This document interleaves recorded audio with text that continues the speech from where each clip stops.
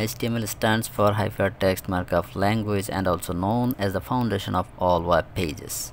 HTML code is used to structure a web page, document design and its content. The HTML content could be paragraph, bulleted points, image or video.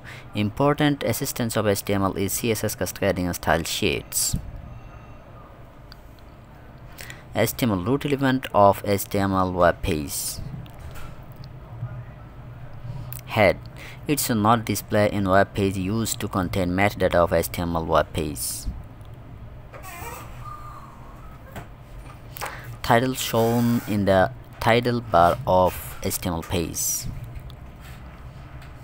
Body element known as the container of all visible content of HTML page like heading, paragraph, image, video, etc.